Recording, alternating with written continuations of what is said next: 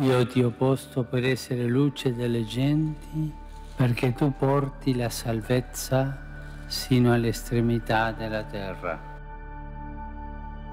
Queste parole del Signore ci fanno vedere la missionarietà della Chiesa. Contempliamo la testimonianza di santità di Fra Junipero.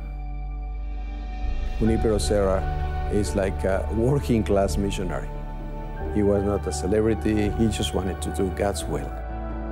He wanted to create a more profound and relational human community between the Spanish Empire and the indigenous peoples of California. He was such a vehement protector and advocate for the Indians in California to the point of putting his own life at risk. I have no quarrel with raising concerns about 18th century Spanish colonialism.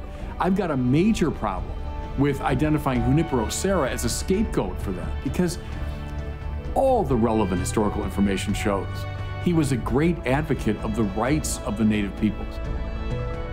St. Junipero Serra stood in a tradition of churchmen who stood up for the rights and the dignity of native peoples and who resisted the abuses of colonization. Nearly two decades before a Bill of Rights was added to the U.S. Constitution, Junipero Serra achieved a Bill of Rights for Native peoples, recognizing them as children of God.